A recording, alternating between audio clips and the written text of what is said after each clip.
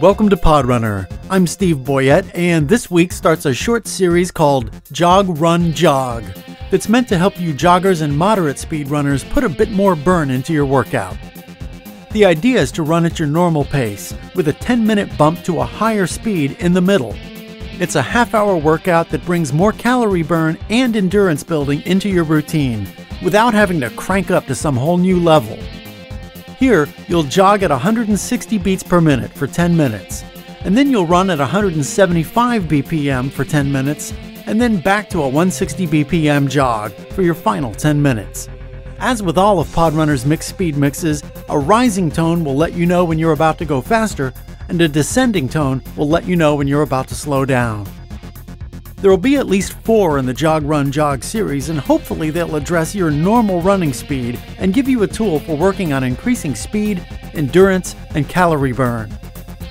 Before we get started, remember that you can visit podrunner.com to get a Podrunner t shirt, sign up for the Runtime newsletter, send me an email, or make a contribution to help keep these training tools available. That's podrunner.com, and thanks for your support. Now get ready to jog, run, and then jog again for half an hour at 160, 175, and 160 BPM. Have a great workout, have fun, and keep going.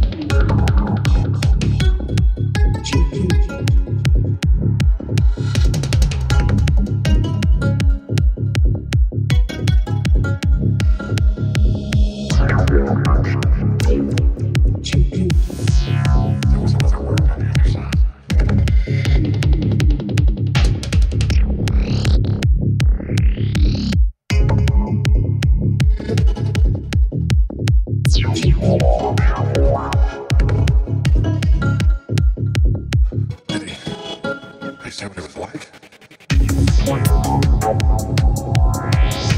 Smile.